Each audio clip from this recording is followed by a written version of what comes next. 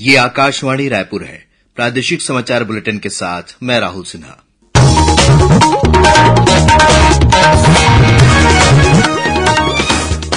आज के मुख्य समाचार।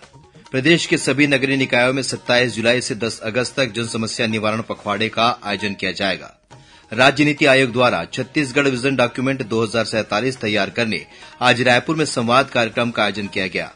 छत्तीसगढ़ को दीनदयाल अंत्योदय योजना राष्ट्रीय शहरी आजीविका मिशन में उत्कृष्ट कार्यों के लिए पाँच राष्ट्रीय पुरस्कारों से नवाजा जाएगा। और सुकमा ज़िले में दो महिला सहित चार इनामी माओवादियों ने किया आत्मसमर्पण।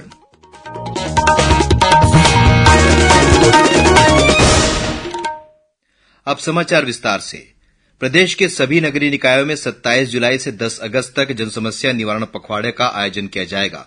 इस दौरान नगर निगमों नगर पालिकाओं और नगर पंचायतों में वार्डवार शिविरों का आयोजन कर स्थानीय समस्याओं का निदान किया जाएगा।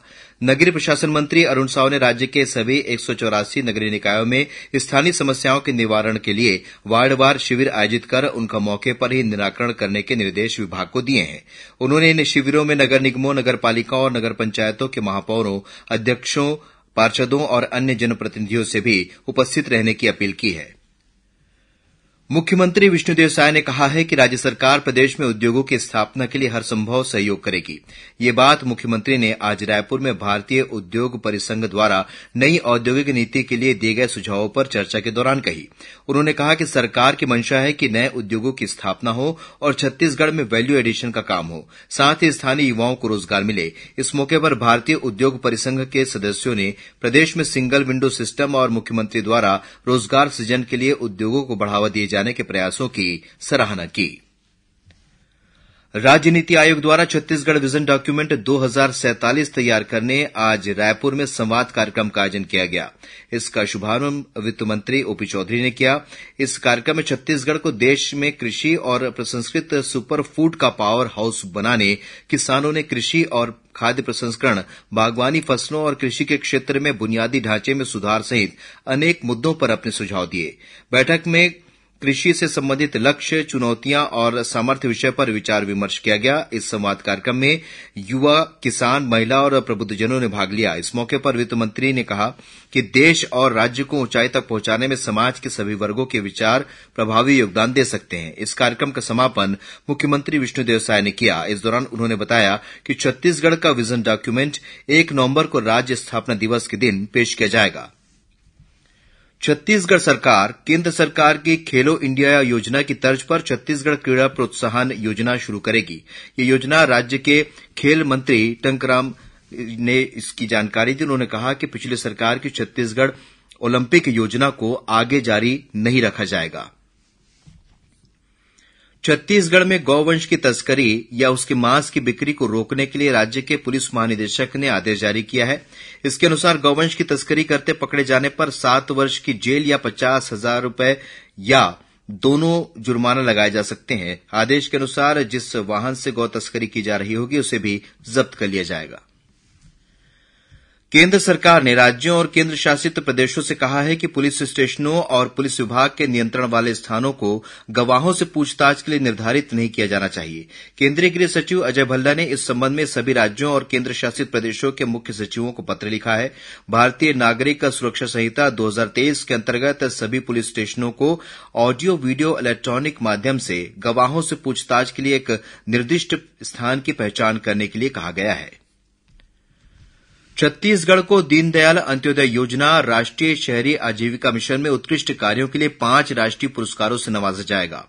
केंद्र सरकार द्वारा राज्य शहरी विकास प्राधिकरण सूडा और प्रदेश के चार नगरीय निकायों, बिलासपुर, रायगढ़, चांपा और भाटापारा का चयन प्रतिष्ठित स्पार्क पुरस्कारों के लिए किया गया है। राज्य में शहरी गरीब परिवारों को सशक्त बनाने और उनकी आजीविका के अवसरों को बढ़ाने में उत्कृष्ट कार्यों के लिए ये पुरस्कार प्रदान किए जाएँगे।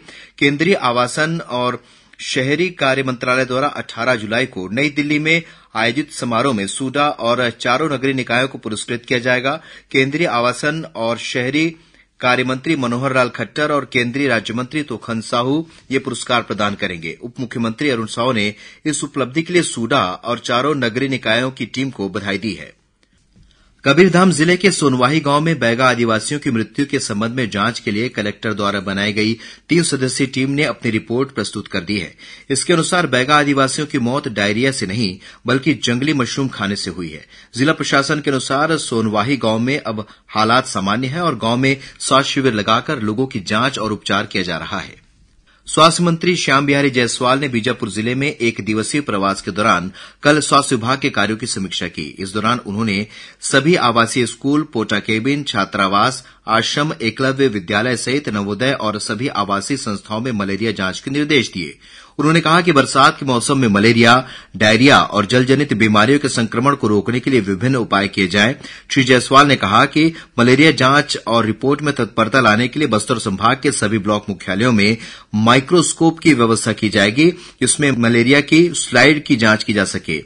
स्वास्थ्य विभाग ने बीजापुर के पोटा केबिन पहुंचकर वहाँ की व्यवस्थाओं का जायजा लिया। अपने प्रवास के दौरान श्री जायसवाल ने बीजापुर जिला अस्पताल का भी निरीक्षण किया। इस बीच वन मंत्री केदार कश्यप ने कल सुकमा में राज्य सरकार द्वारा संचालित विभिन्न कार्यक्रमों के क्रियान्वयन की समीक्षा की। इस मौके पर उन्होंने कहा कि बरसात के मौसम में मौसमी और जलजनित बीमारियों की रोकथाम के लिए सभी आवश्यक कदम उठाए जाएँ। उन्होंने कहा कि स्वास्थ्य विभाग के कर्मी मलेरिया उन्मूलन के लिए मच्छरदानी वितरण और डीडीटी छिड़काव सुनिश्चित करें। सुकमा ज़िले में दो महिला सहित चार इनामी माओवादियों ने आत्मसमर्पण किया है। इनमें से एक माओवादी पर आठ लाख रुपए, दो पर पाँच पाँच लाख और एक माओवादी पर दो लाख रुपए का इनाम घोषित था। इन माओवादियों ने राज्य सरकार की पुनर्वास नीति और नियत नल्लानार योजना से प्रभावित होकर पुलिस के समक्ष आत्मसमर्पण किया। ये सभी माओवादी संगठन में लंबे समय से सक्रिय थे और इन पर कई घटनाओं में शामिल रहने का आरोप है।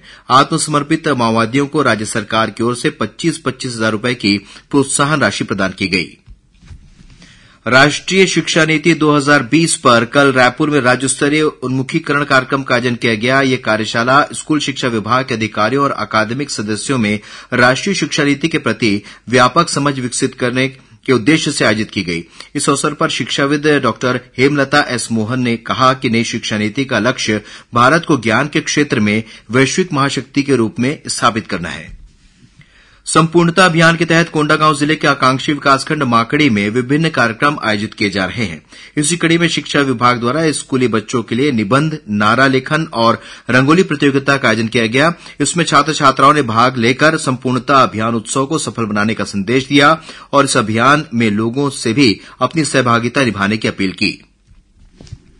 सारंगढ़ बिलाईगढ़ ज़िले में एक पिकअप वाहन अनियंत्रित होकर पलट गया। इस हादसे में एक व्यक्ति की मौत हो गई। वहीं बीस अन्य घायल हो गए हैं। घायलों को बरमकेला के अस्पताल में भर्ती कराया गया है। यह हादसा बरमकेला थाना क्षेत्र के अंतर्गत चाटी पाली के जंगल में हुआ। पिकअप वाहन में 21 लोग सवार थे जो सारंगढ़ से मजदूरी करने बरमकेला जा रहे थे। वहीं जांजगीर चांपा ज़िले के हरदी विशाल गाँव में एक चार पहिया वाहन पेड़ से टकराने के बाद दुकान में जा घुसा इस दौरान सड़क पर जा रहे एक व्यक्ति की मौत हो गई। वहीं एक अन्य व्यक्ति और चालक घायल हो गया है, जिन्हें जिला अस्पताल में भर्ती कराया गया है। हादसे के बाद आक्रोशित लोगों ने मुआवजे की मांग को लेकर बलौदा हरदी बाज़ार कोरबा मार्ग पर चक्का जाम कर दिया। तनाव को देखते हुए मौके पर एएसपी एसडीओपी तहसीलदार और कई थाने के थाना प्रभारी मौके पर मौजूद हैं। वहीं रायगढ़ ज़िले के धर्मजयगढ़ में एक पिकअप और दोपहिया वाहन की भिड़ंत में एक युवक घायल हो गया था, जिसकी इलाज के दौरान मौत हो गई।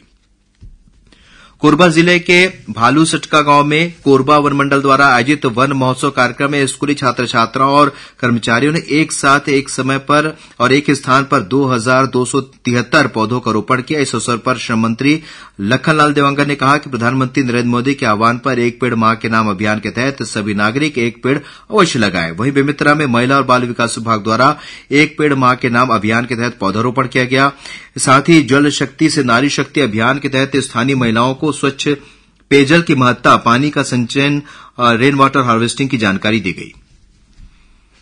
अब कुछ खबरें संक्षेप में। राष्ट्रपति द्रौपदी मुर्मू ने न्यायमूर्ति एन कोटेश्वर सिंह और आर महादेवन को सर्वोच्च न्यायालय का न्यायाधीश नियुक्त किया है। श्रम मंत्री लखनलाल देवांगन कल कोरबा में शहीद वीर नारायण सिंह श्रम योजना का शुभारंभ करेंगे। श्री रामलला दर्शन योजना के तहत बलरामपुर, रामानुजगंज ज़िले के एक श्रद्धालु कल 17 जुलाई को अयोध्या के लिए रवाना होंगे। भारतीय डाक विभाग छत्तीसगढ़ डाक मंडल द्वारा आज विश्व सर्प दिवस के अवसर पर आमजन में जागरूकता लाने के उद्देश्य से पिक्टोरियम पोस्ट कार्ड और कैंसलेशन कैचेट का विमोचन किया गया। और छत्तीसगढ़ माध्यमिक शिक्षा मंडल की हाईस्कूल और हायर सेकेंडरी द्वितीय मुख्य अवसर परीक्षा के प्रवेश पत्र मंडल की वेबसाइट और संबंधित संस्था के पोर्टल पर अपलोड कर दिया गया है। अंत में मुख्य समाचार एक बार फिर। प्रदेश के सभी नगरीय निकायों में 27 जुलाई से 10 अगस्त तक जनसमस्या निवारण पखवाड़ा का आयोजन किया जाएगा। राज्य नीति आयोग द्वारा छत्तीसगढ़ विजन डॉक्यूमेंट दो हज़ार सैंतालीस तैयार करने आज रायपुर में संवाद कार्यक्रम का आयोजन किया गया। छत्तीसगढ़ को दीनदयाल अंत्योदय योजना, राष्ट्रीय शहरी आजीविका मिशन में उत्कृष्ट कार्यों के लिए पाँच राष्ट्रीय पुरस्कारों से नवाजा जाएगा और सुकमा ज़िले में दो महिला सहित चार इनामी माओवादियों ने किया आत्मसमर्पण। इसी के साथ प्रादेशिक समाचार बुलेटिन समाप्त हुआ। नमस्कार। Okay.